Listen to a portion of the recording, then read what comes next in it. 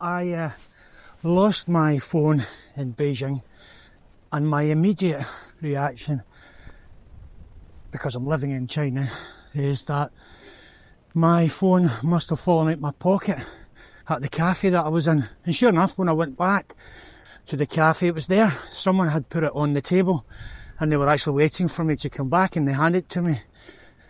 When I lost my action camera in the UK, my immediate thought was that someone must have stolen it. And later I found my action camera. It was actually my fault. I had misplaced it. My bad. But it was surprising to me the train of thought that they were so different. One being I lost it, the other being that it was stolen. I get this way of thinking maybe is because of uh, a reflection as much on me and my biases as it is on uh, either country, but we do develop some of our biases from our experiences. And when I'm in the UK, I purposely move my iPhone from the back pocket to my front pocket because I don't want it to get stolen. In China, my phone is always in my back pocket, the back pocket of my Levi jeans, and I don't worry about the thought of it getting stolen or pickpocketed because that sort of theft doesn't really happen here that much in China, certainly not in Beijing. Now, I'm not naive, I have heard about that happening in other people uh, here in China, but it's not endemic like I know it is in some European cities like London. Now, London is an amazing city, and when you walk around London, it's like walking around a living museum. It's almost like a movie set. But it's a risky city if you don't stay alert. I see examples of theft and pickpockets happening in London on social media, and it's always shared all the time. And it looks really scary how easy it can be done and how skillful some of these guys, these thieves, actually are. You park a decent quality bike in London and it's likely to be stolen. And that can take seconds. They show off the chain and away they go with the bike blink and you almost miss it. Incidentally, I came down here to see the lake, the frozen lake. Usually there's people on this lake. Maybe not today. Maybe the ice is still a bit too thin. It's cold, but it's not been as cold as what it used to be. Anyway, something else. Incidentally, my Levi's are American, and I always buy Levi jeans because I like them. When I buy them, I know what I'm getting, the usual size. They're an amazing American product. I bought some last time I was in America. I was in New York, San Francisco, two amazing cities to visit. Like any major cities, they have their challenges, and we all know what they are. Um, but I do like visiting America. And my brother, he lives there and is an American citizen, believe it or not.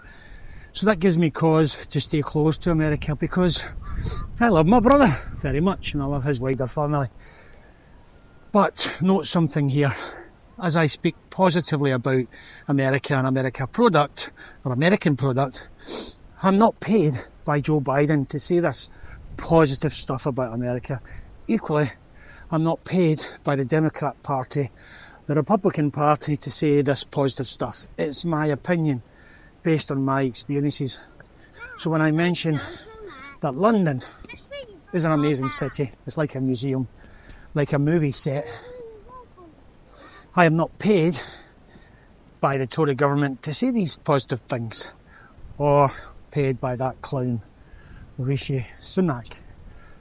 But I know that you know I wasn't paid by them because you do know that would be a stupid thing to think.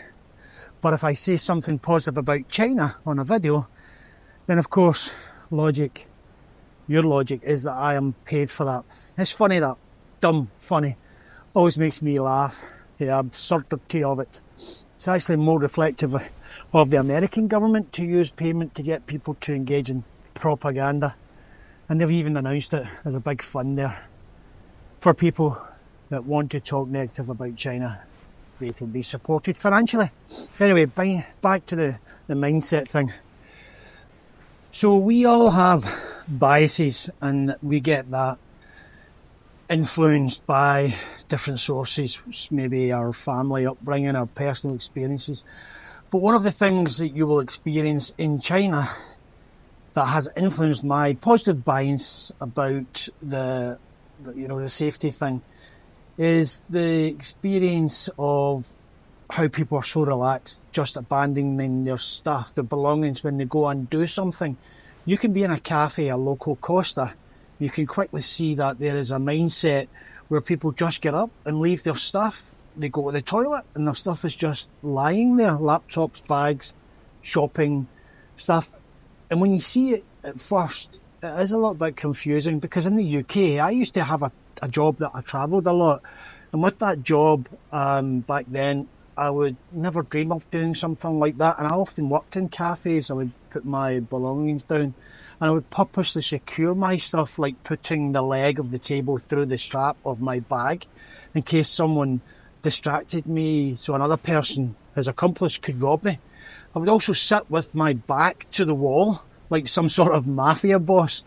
And I would do that so I could see what was going on about me, stay alert while I had to work on my laptop, um, and, and, and just be be aware that people might do something to steal something from me. Just a wholly different mindset than what I'm seeing here in China. And when you see it, you do get surprised initially. So another difference in that sort of mindset in the UK and China is when you see people taking uh, a, a photograph or shooting a video. Here, when taking a video or a photograph, often people will jump in or wave or say hello. They're relatively happy. Seems to me to be part of the the, the photograph or the, the, the video. Uh, maybe it's part of the culture, I think, here. It does put me off my train of thought sometimes. However, in the UK, people, if you were taking a photograph or a video, people can sometimes be right in your face.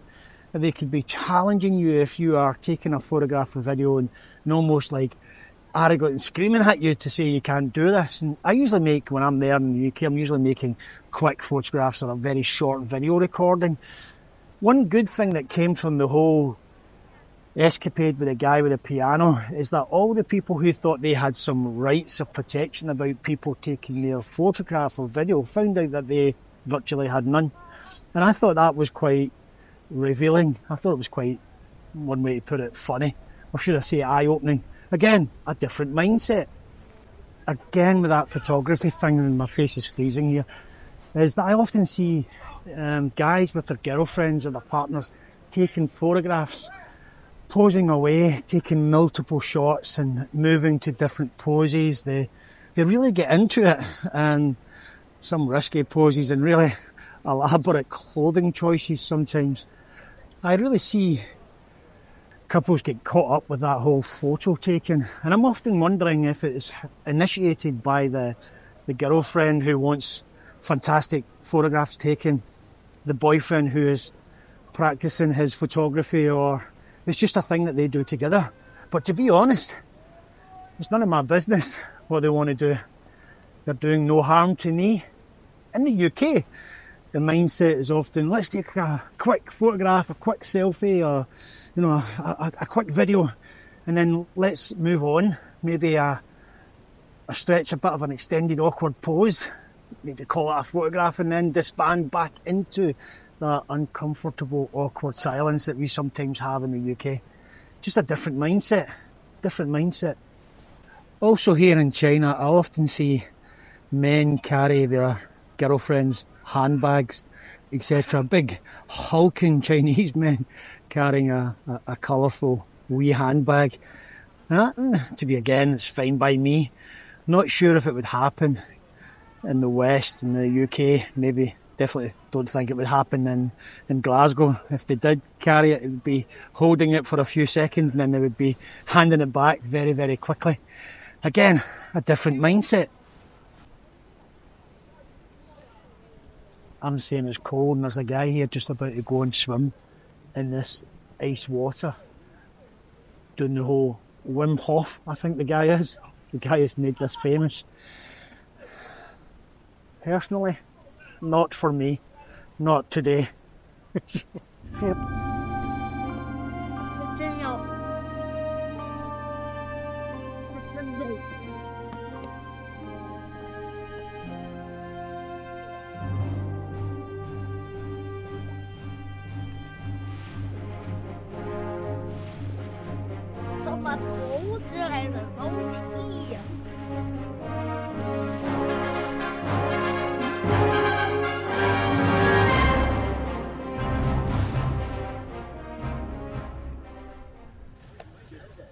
So it's very cold here, so I decided to sit and get some sun. Um, and just as I was speaking there, there was a car horn, and that's another thing that comes to mind. Car horns are always honking in the West. Uh, It's kind of noisy place, and sometimes it's like, what's the point of you honking the horn? You're not making any difference. You're not making any change to the traffic jam, other than just releasing your pressure, maybe, and, and annoying other people around you and other car drivers. Here in China, certainly in Beijing, honking horns is just not a big thing. The traffic might be backed up, there's a whole lot of traffic jammed tight, but it's relatively silent. Yeah, some people do honk their horns, but it's just not anywhere near the same magnitude as the UK. The road rage in the UK and the US, for that matter, it's just honk, honk, honk. Again, different mindset. A mindset of impatience and one of individualism. Whereas here in China, it's a mindset of community. A different mindset. Definitely. Right, after saying all this about mindsets and difference in mindsets and possible cultures, there is a few things that I would like to see both cultures change, the UK and the China. There's, there's a couple that springs to mind. One, I really would like to see less spitting. In the UK, people spit out their chewing gum. In China, people just spit in the street. I admit, generally the older generation, but please just stop it. It's just not, it's not pretty. The other thing is when you're in a fast food restaurant, just clean up after yourself. When I was in Tokyo, I loved that, that, that, that, that just efficiency and that cleanliness in Tokyo where people cleaned up after themselves. I liked that. Oh, and the other thing is when you're walking around staring down at your, your phone, or please at least walk to the side. Don't walk in front of me zigzagging all over the, the road. Walk straight uh, or put your phone away. It's a bit of a challenge to get past you. You're walking about like a, a drunken football fan in Glasgow on a late Saturday afternoon. So please, put your phone away. I'm saying that about drunken Scottish people, drunken Glaswegian football fans. You actually don't see a lot of drunk people here in the streets in China. Although we're coming up to Chinese New Year, or we're in Chinese New Year by the time you see this video, so that might be an interesting thing to look out for. But it's something you just don't see here. Again, difference in mindset. Now, there is one last thing that I would like to see the UK mindset change about, and this is the idea that we seem to have this belief that we are a mighty power, this idea that we are all rule Britannia and all that flagging or hugging the flag, I should say. Because the truth is, and I hate to burst people's bubble when I say this, but the truth is the UK is a million miles away from the whole rule Britannia. These days, the UK has just been hollowed out by the, the various governments and it's been done right in front of our eyes. In truth, the world has moved on. So do yourself a favour, adjust your thinking, change your mindset on this one thing. Think more about peace, less about war. Anyway, this is me, Iain, here in a freezing cold Beijing. Look after yourself, look after your family, look after your friends, and look after your community. Yeah, this is me, cold, saying to you, peace out, take care, catch you in the next video, I think. Might be about Chinese New Year. The year of the dragon. Yeah.